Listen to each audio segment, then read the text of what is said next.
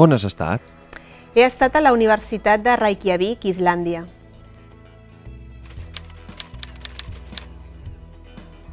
Jo he estat a la Universitat de Soderton, a Estocolm, a Suècia.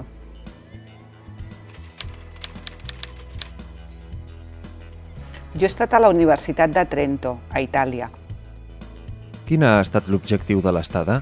L'objectiu de l'estada ha estat entendre i veure el funcionament de la gestió en una universitat on l'organigrama administratiu fos tipus UCA, és a dir, les gestions de centre i de departament realitzades en una mateixa unitat. La idea era veure els pros i contres d'aquest funcionament administratiu i detectar les fortaleses i debilitats d'aquest organigrama de treball. En definitiva, era veure el know-how de la Universitat de Reykjavik, de la Universitat de Suècia i la Universitat de Trento, que eren totalment diferents amb el que és el, el tipus d'organització. Com vas preparar la teva estada? Per tal de preparar l'estada, el que vam fer va estar mirar totes les universitats amb la qual la UPF té conveni, eh, convenis de, de mobilitat, i d'entre totes aquestes vam, vam detectar aquelles que tenien una estructura que fos similar a la qual vol implementar la universitat. És a dir, una estructura organitzativa en la qual centre i departament estigués unit. Eh, vam escriure totes aquestes universitats i d'entre les respostes que vam obtenir vam escollir les tres a les quals hem estat perquè eren diferents entre elles i presentaven estructures similars però amb alguna diferència. Quines activitats de l'estada destacaries? En primer lloc, l'Staff Week eh, com a model d'estada, eh, perquè entenem que és una pràctica que, que combina molt bé el compartir coneixements, eh, bones pràctiques, sinergies entre la gent eh, i també algunes activitats culturals i lúdiques eh, entre la gent que hem anat a fer l'estada i gent del, del propi país. I entenem que això és molt enriquidor.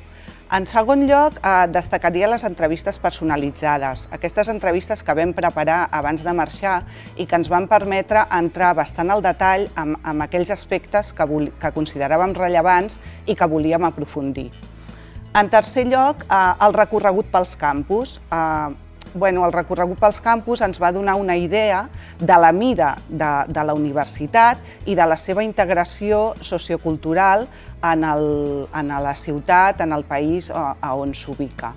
Uh, en el cas de Trento, per exemple, va ser molt significatiu perquè tenien tres campus i un rectorat, eh, igual que la Pompeu Fabra. Què és el que més t'ha sorprès? El que més m'ha sorprès de la Universitat de Reykjavik és la relació d'igual a igual entre les unitats de, de, de centre o de gestió i els serveis centrals. Jo això ho considero com un punt fort d'aquesta universitat. Un altre punt que també vull destacar és la concentració dels recursos eh, humans i econòmics també en aquestes unitats de, de gestió i eh, de l'atenció de l'usuari envers el que són els serveis centrals. És a dir, és una aposta total cap a, cap a les unitats de, de front office. Els back office queden com a serveis més eh, d'especialització o mm, experiència de temes concrets i que assessoren aquestes unitats de, de gestió.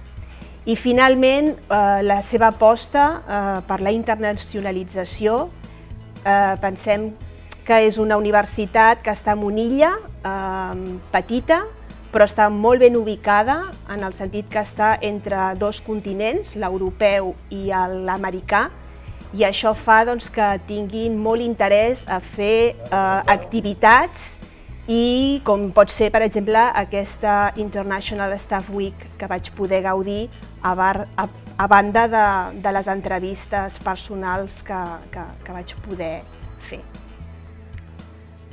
Què és el que més t'ha sorprès? A mi de la Southerton University el que em va agradar a nivell d'organització va ser el tema eh, que per estar així unit o agrupat centre i departament, això permetia molta flexibilitat i molta rapidesa en la presa de decisions, la qual cosa agilitava molt doncs, molts processos o molts temes que tenien entre mans. A banda d'això, a mi de la Soderton també em va, em va copsar, em va, em va sorprendre la metodologia que tenien a nivell pedagògic. Uh, no funcionaven com funcionem nosaltres, una assignatura que dura tot un semestre, tot un trimestre, sinó que una assignatura la concentraven en quatre setmanes. Això feia que els estudiants estiguessin només dedicats a una assignatura durant quatre setmanes, es podien fer una immersió en aquella assignatura i els resultats que els hi donaven eren molt bons eh, com a model el vaig trobar doncs, novedós, diferent, bueno, una cosa que sempre es pot provar. Un altre tema que també em va agradar va ser el tema de la tutorització. És a dir, els tutors a la Soderton no era el professorat, sinó que eren personal d'administració i serveis, però personal molt especialitzat, que acompanyava a l'estudiant durant tota la seva vida acadèmica, des del moment que entrava a la universitat fins al moment que sortia i es graduava. Això també va ser una cosa diferent a la que fem nosaltres i que també em va sorprendre. Què és el que més t'ha sorprès?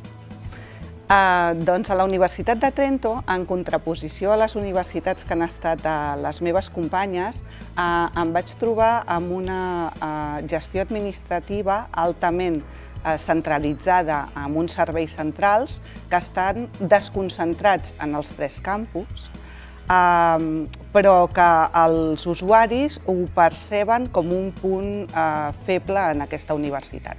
És a dir, tot, tot i que han volgut apropar la gestió a l'usuari, eh, són els serveis centrals qui controlen, qui indiquen, qui, qui, qui fan tot, eh, i, i per tant qui no apropen realment la gestió en, en l'usuari.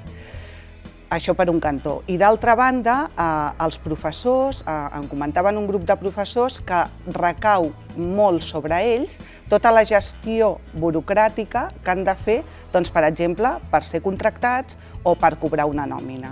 Eh, també ho perceben com un, com un punt feble.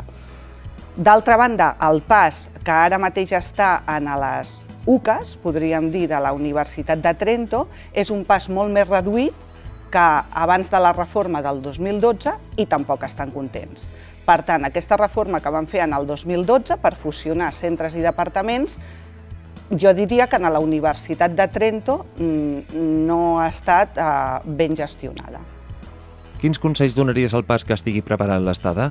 Els consells que donaria per persones que vulguin fer una estada Erasmus és preparar-se molt bé l'estada i les entrevistes.